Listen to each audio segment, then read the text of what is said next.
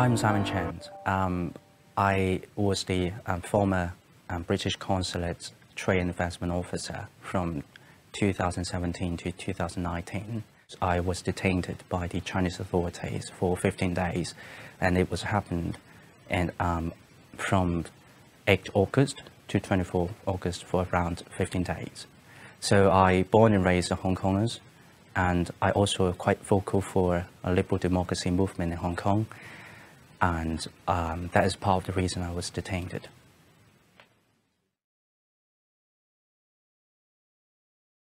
So when I was in the West Kowloon High Speed train station, I've been stopped by the border force. Um, first of all, they had no idea why I'd been stopped it, and they said that they they received the order and instruction from the senior officials.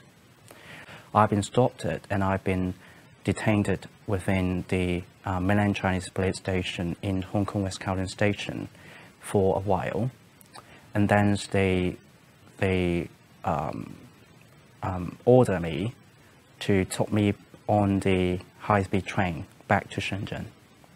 So so so since 8 August, I've been detained.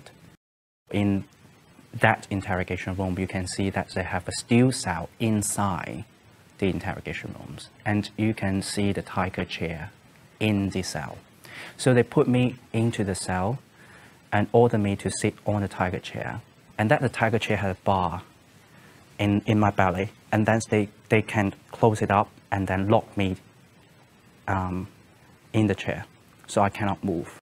I'm afraid if I give them the passcode, if they see any message um, on WhatsApp or Telegram or something, they will use any excuse to charge me politically.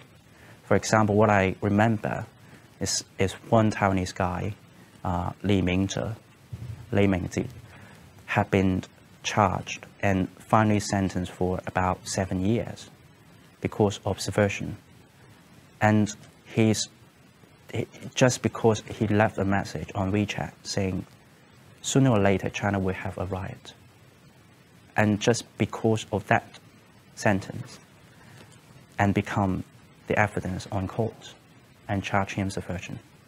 So I don't want to let them see any conversation on WhatsApp or Telegram, and that would be an excuse to charge me politically.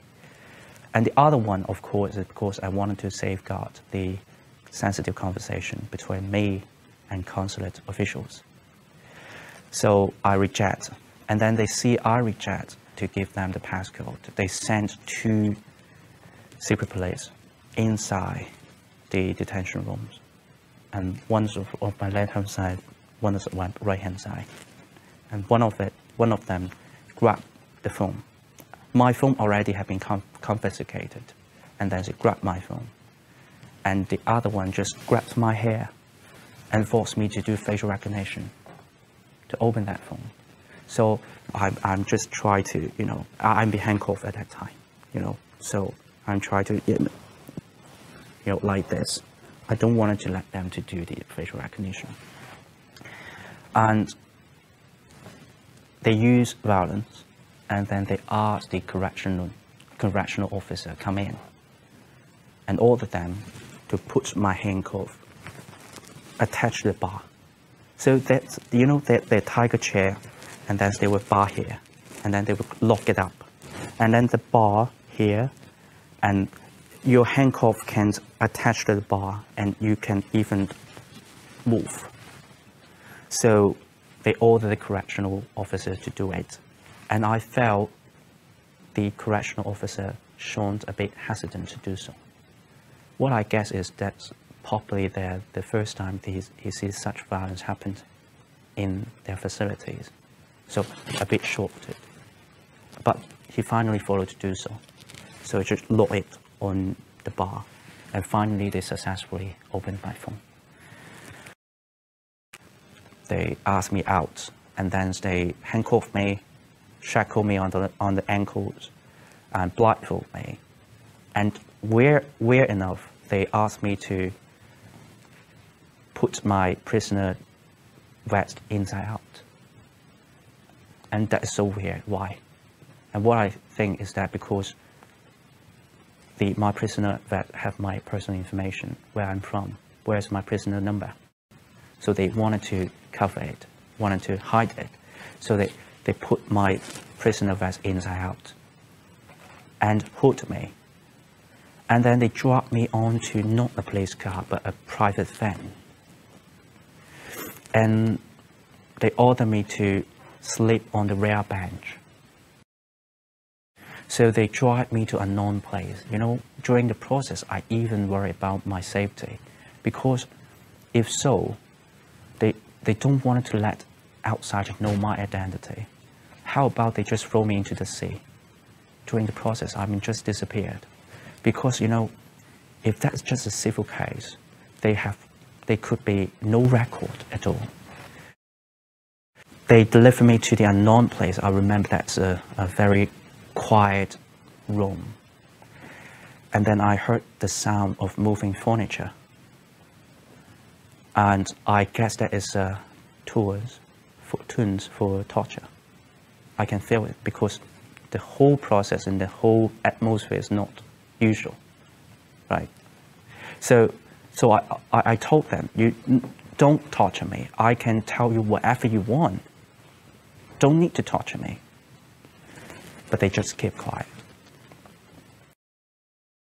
So, so they start to, you know, hand me out something like on the wooden plate, something like this. And you know, you if you raise your hands, that would be fine. But how about countless hours? They just keep me out for countless hours, and then I feel sore and painful and then I've been shriveled, you know, and I, I feel extremely painful. And then they didn't ask me any question. And, and then they asked me to do squat and also for another of hours. And then once I shuffled, they used unknown weapons, sharpened weapons to beat me for example, I, I, I, I did squat like this, and my leg would be shuffled, and then they would bit my ankles.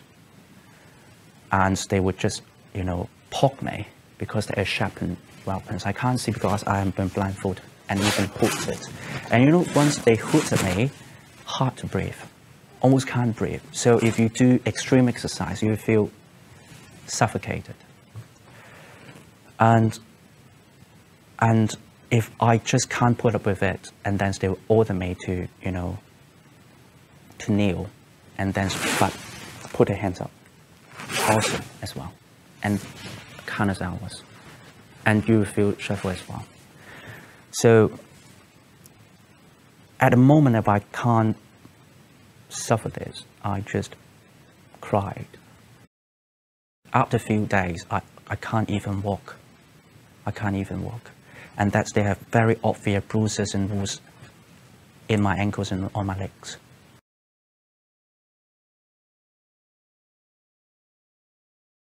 In order to protect their safety, I declare I dissociated the, the, the, family ties with my all, all of my family members in mainland China and Hong Kong for their better safety.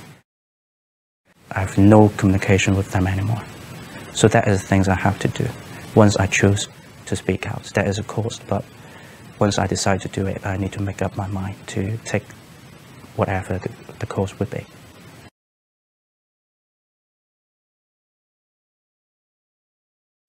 Really wanted to say a big thank you to those protesters if because they keep voicing out for me and then they care about my safety previously.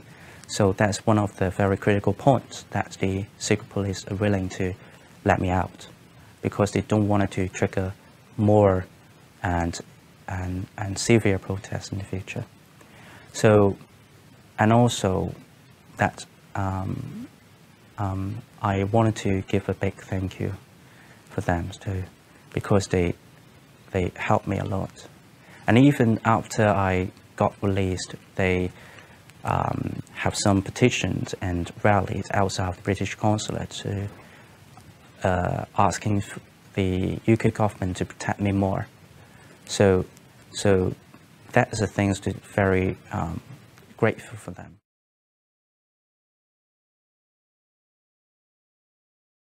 We need to think twice. How could we get along with China in the future?